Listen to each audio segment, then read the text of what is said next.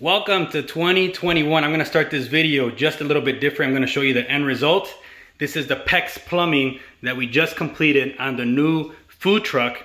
And I'm gonna show you step by step how to connect this so you can pass inspection as well. I love the PEX piping because it's easy to use, easy to cut, easy to connect. You don't have to be solder all the joints together. You just crimp them right there. And at the end, it passes inspection, which is what we want. Hey, I'm Frank Baltierrez, and I started a video series called How to Build Your Food Truck. If you're new to the channel, subscribe. That way you get the step-by-step -step instructions on how to start from a scratch uh, food truck or food trailer and be able to take it to a full mobile kitchen on wheels where you can pass inspection as well. If you're a loyal subscriber, thank you again. But welcome to 2021. This is the first video of 2021, and I'm excited to be able to complete this food truck trailer, concession trailer with you all. That way you guys can do the same and duplicate it on your venture that you have out there, your mobile cart, mobile trailer, mobile truck. And uh, once we complete this and we sell it, the thing, the question is, what are we gonna do next? I got a couple things in mind. Hopefully you stick around because we're gonna keep on going with this. But first, we gotta sell this one. So with that, welcome to 2021. Frank Baltierrez with the DIY series, How to Build Your Food Truck. Don't forget to comment if you have any questions, subscribe, like, share, all that fun stuff. Let's get rocking and rolling. Alrighty, so now we're gonna connect the fresh water tank, which is this one right here. It's always a smaller one. This one's a 20 gallon undermount uh, fresh water tank from Class A Customs. I like the undermounts because they have a little groove right here, and that's what locks it into the leg. Uh, there's the other kind, which is just a regular mount, and those are all just like a big box and I like these a heck of a lot better. So to connect the tank to the water pump, which gives, which gives us the pressure to be able to wash our hands, wash our dishes and all that stuff, we're gonna need to connect to right here, which is one of the outputs of the water tank. And we're gonna use this right here, a PEX male adapter. And that's gonna go right there because we're using PEX to connect all the plumbing. So that's gonna get connected right there. Make sure we use some sealing tape. And then we're gonna come out of that part, just a little piece of PEX. And we're gonna connect to this right here, a PEX ball valve made by SharkBite. And this one's not required, but I did, did wanna use it because it's just like a safety thing. That way you can always shut your water off and on, whatever, just in case. So that one's not required, but it's always nice to have. That one's about $7. And then from this side right here, we're gonna elbow with the little elbow up, and we're gonna come right up, boom, and go into our water pump right there, made by Seaflow. And if we look on the top, it has the arrows of the way the water has to go in and go out. So that's uh, the right side is where the water is gonna come in from the water tank, and then it's gonna come out right there. And that feeds into the water heater right away. And then from the water heater, it goes out and does its thing.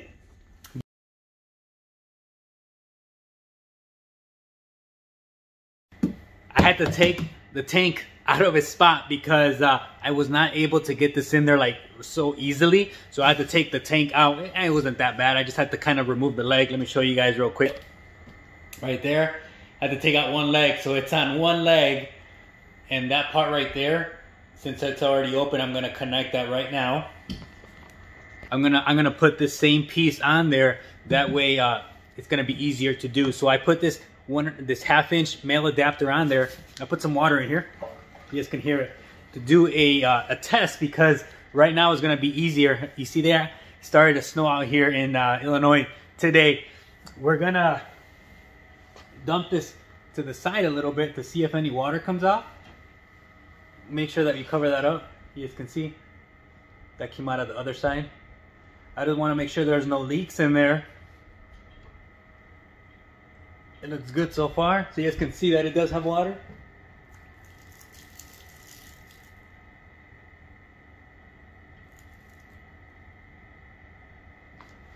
Alright, so we're good.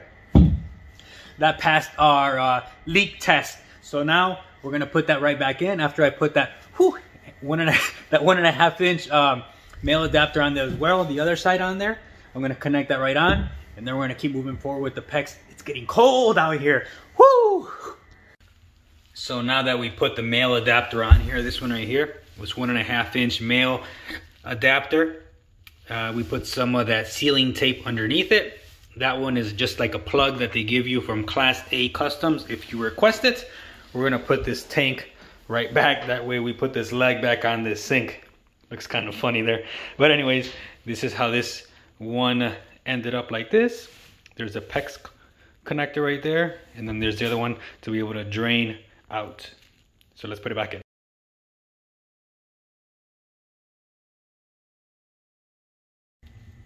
Okay, so we temporarily just placed this right here. We got the ball valve with the little piece and then the elbow that's gonna come all the way straight to our water pump. Don't forget to add your strainer. This comes with your water pump. Right here, the C-Flow water pump has a strainer and this just works as like a, as a filter for like any debris that gets in here. It doesn't go into the water pump and messes it up. So don't forget to add that somewhere in between right here. And it does come with like these little connectors, but these do not fit into the half inch PEX. So you have to buy these that come with it. These are the PEX half inch connectors. So make sure that you purchase those and then these get connected to the threads right here on the strainer. So don't forget to add the strainer right in between here before you get to your water pump. So let's work on that right now. All right, so on here, I put these, this is what they're called right here. This is the name. It's a PEX female swivel adapter. That's what goes in on this side, this side, right here. But on the strainer, if you get this particular strainer, C-Flow, if you're gonna use PEX, this one's a little bit different. So this one is a male instead of a female swivel adapter. So we have to go buy that. So we cannot finish this. I'll buy it right now. And that gets connected to that part. And then this is gonna go uh, into a T. One part is gonna go to my three compartment sink. And then the other part is gonna go right into the water heater on this part right here, the cold side. And I really like this uh, Excel water heater. It's an instant water heater. It's powered by propane. So that's why I like it, just because it doesn't suck up my electricity here in uh, in the food truck, so I don't have to worry about it with the generator. So this is powered by propane and it works super quick, like instantly almost. So that's why I like this. I haven't seen any faults with it yet, like any like downsides of not using it. So I recommend it, but obviously there's other options out there. There's electric ones that you can use, the little circle ones that are a little bit bigger. You can use those as well, but this is the one that I really like and the only one that I can vouch for and say it's worked for me. So I don't know how it's gonna be in the sink that you purchase, but if you go with the option that I have, which is the advanced Tabco, no, no three compartment sink will come with its faucet is what I have seen. I could be wrong. So you have to buy it separate. And I'm gonna link this one that I purchased in the description right there. Bought it on Amazon. The issue with this is that they don't give you the half inch nipple that goes right there. So you have to go purchase it. So you have to buy two of them, two galvanized nipples. And they're gonna go right there. They're gonna go connected to that right there. But the issue is that they didn't give you anything to lock it on the other side. And you have to buy these big old washers. You have to purchase. I found these at Ace Hardware out of all places. They didn't have my Home Depot. And this is gonna serve to go to the through the back right there to serve as a backing for the faucet. So that's what we're gonna do. And then on this side, we're gonna connect the 90 degree PEX elbows right onto this part right there. I know it can get a little bit daunting and a little bit like, oh my gosh, that's too much work. Uh, and yes, it is. It's a little bit of work, but it's either you're gonna do it yourself or you're gonna pay somebody else to do it. And if you're watching these videos, it's possible that uh, you want to learn to do it yourself and it can be done. It just takes a little bit of work and a little bit of knowledge on how to get the plumbing completed. So that's the three compartment sink faucet that we're going to connect right there using these nipples using these PEX 90s and these big old washers so it can have somewhere to go on the back.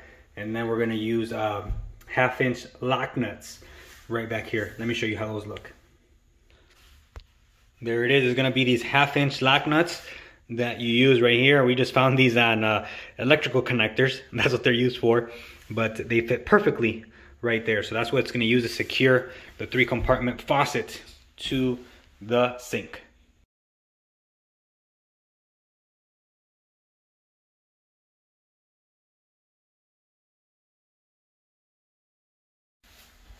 You just want to make sure that you get back in here and get it nice and uh, snug. Here's a part of the work nobody sees, but we want to make sure we get it right. So we're gonna get that uh, little flathead screwdriver. Make sure that's tight right there. Same thing on this side.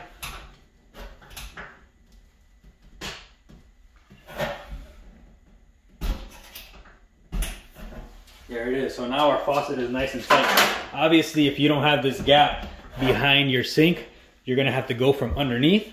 So one of the ways or the other, you can make it work. So that's nice and tight. Yeah, it's not going anywhere. Now we're gonna connect this to this. And we're gonna pre-assemble it with the elbow coming this way. That way when we go down here, it's gonna come right down here. Let me show you guys so you guys can see. The goal of this is to bring this piece and it's gonna end up right here with the elbow. And then the elbow, we're gonna bring it all the way over here and just kind of leave it right there. That way we connect it over to this part. And that way that hot water side on the three compartment sink is connected to the instant hot water heater. And we're gonna do the same thing with the blue, but the blue, we're gonna stop it right here. We're gonna stop, oop, there it is. Sorry, we're gonna stop it right here because that's gonna connect to the water pump right there. And then that's gonna come on the other side and connect to there. Hopefully that makes sense. Let's rock and roll. All right, so if you can see here, you see the little two danglies. You got, you got the blue one, you got the red one. So what we're gonna do is we're gonna just cut it right here. And then from here, we're gonna 90 this way. So let's give it a snip right here.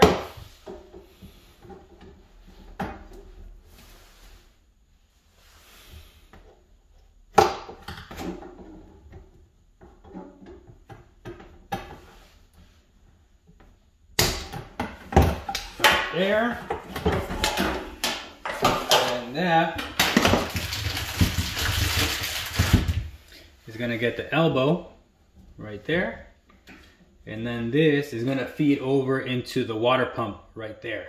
And then we're gonna do the same thing with the red, but this is gonna go straight to the water heater, not the water pump, straight to the water heater, which is right over there, that little piece right there and so that we don't struggle to crimp these because to crimp them in here, woo, it's gonna be a mission. I did it on my first truck and trust me, it sucked.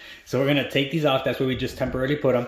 So we're gonna add a piece from here to there. It doesn't have to be exact because you can cut it right over there, just long enough to get out of this hole that we're in here so we can work comfortably over here. So that's what we're gonna do next, connect it right there and then put it all the way over there.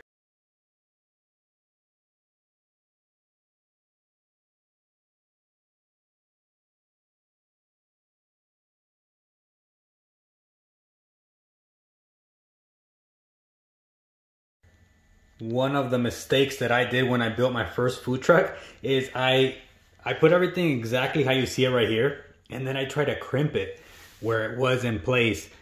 And to get that crimp tool into these little corners and crevices that is a tough one let me tell you guys. But that's why we put it together like this. So I'm gonna take it out exactly how it is right there. And that way I'm gonna crimp it outside and it's so much easier to crimp and uh, you make sure that you get a really, really good connection. So as you can see, that goes from my water pump down to there to the T, and then that goes into the three compartment faucet, and that is gonna get fed right into here with another elbow into the water heater. And that's how that works. And then we're just gonna connect that little strainer to that piece right there. Yes, success in the plumbing. Let's rock and roll. You guys got this. You guys can do it. Any questions, please let me know.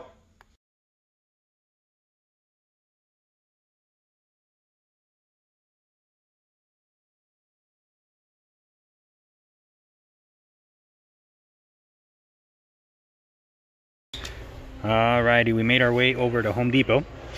And these are the ones that we have purchased, $2.50 each. This is a strainer that we're using. So on one side, this thread is what fits on this female swivel adapter for PEX.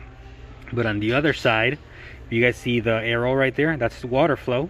So this comes to the water pump from the water tank. It has to go up.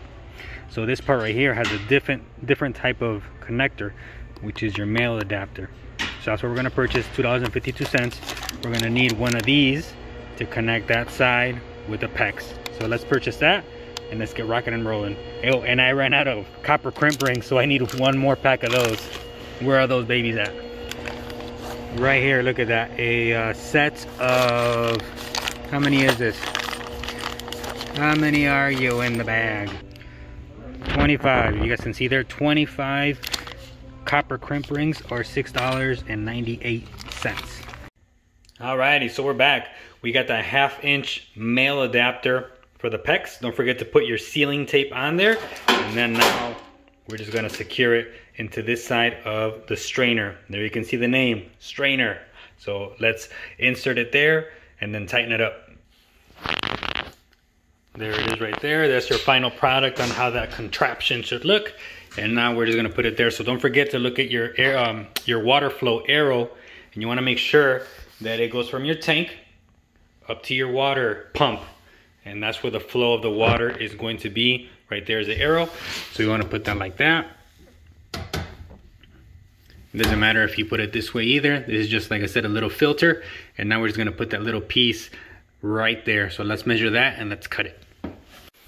Alrighty, so just a little recap on the crimping. That way we get it right before we finish all the crimps. And then we have nothing to review. Um, what we're going to do is we bought another bag of these copper crimp rings, the PEX copper crimp rings. We're gonna slide it in one side. And then you have, like on this one, for example, we have our T and it has a little ribs. We're gonna insert it right there. Slide it down in there. And then we have the crimp tool right here. And then we're gonna slide it together as well right there. And then we're just gonna bring it together. As so. You guys can see. It's a little, little tricky sometimes. I'm not the, it is only the second time that I've worked with PEX. The first one was with my food truck. And now with this one. So with that, we're just gonna squeeze it together. Like that. And there we go. Ah! We have our little contraption that we built there for our uh, our uh, cold water. And then we have the hot water right here. So uh, that's actually probably gonna be a good thumbnail. So let's get that together. So that's gonna be how we're gonna put this. And then on this side. So let's get it installed. Back here in this corner where we're gonna put these, the little 90s that go into the three compartment sink. Don't forget to put your sealing tape on there as well. That way you have no leaks. And at the end, ah, we're gonna give it a water test. Not anytime soon, but uh, when we connect everything up, we're gonna give it a water test, make sure that nothing leaks. And if it does, we'll fix it, but don't forget your sealing tape. All right, so there we go. It's almost the final product. We have our elbows right there, 90ing over into where we need to go.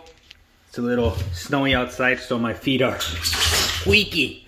Uh, and then this part right here, is gonna go right in here. We're gonna put some threading tape as well right there, the sealing tape. And then this part right up top right there is going to go, whoop, this one's gonna go up to that uh, elbow right there, right here. And then this one's gonna go right there. And we're done. Oh, and then we just have to crimp all these right here, sorry. Boop, boop, boop, all the way down. There you go. Your plumbing is completed. And then we're gonna power it on. It won't be today, and then we're gonna power everything on, make sure that it works, and that way uh, you can pass inspections with your plumbing using PEX plumbing.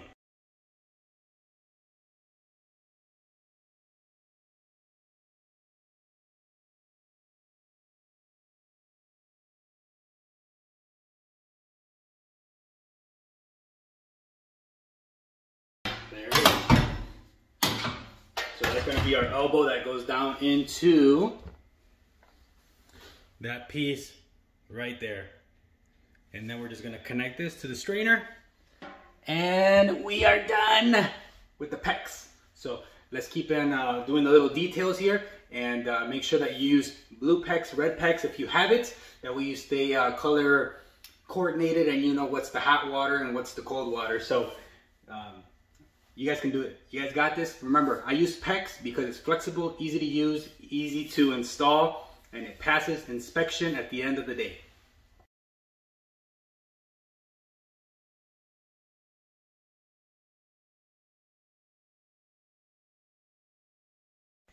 If you have any questions on the setup right here or how to get the different parts or uh, if they have failed on me, reviews and things like that, please just send me a comment uh, and then we can get to it. We can answer that and that way everybody else can see it as well. Uh, hopefully you guys are enjoying the video series, How to Build a Food Truck. The plumbing has been completed and then we're gonna connect it all up and power it on very, very soon. And then, uh, oh, you guys have been asking me the drains. So we're gonna do that right here. Not today because it is super cold outside and it's snowy, but that's where the drains are gonna come out on the wastewater tank. And on here, that's where we're gonna exit them out to the outside. I'm gonna show you guys the little uh, setup I have there, which is really, really cool. So with that, Frank Baltierrez, sign, signing off.